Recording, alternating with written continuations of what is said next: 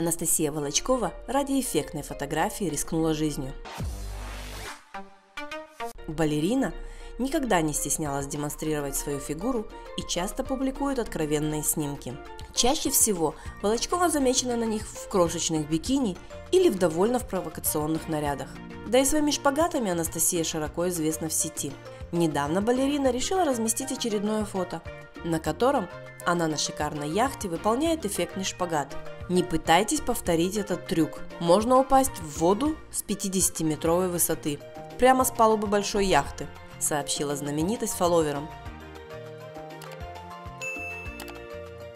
Напомним, сейчас Анастасия счастлива в отношениях с обычным программистом и часто делится романтическими снимками с возлюбленным.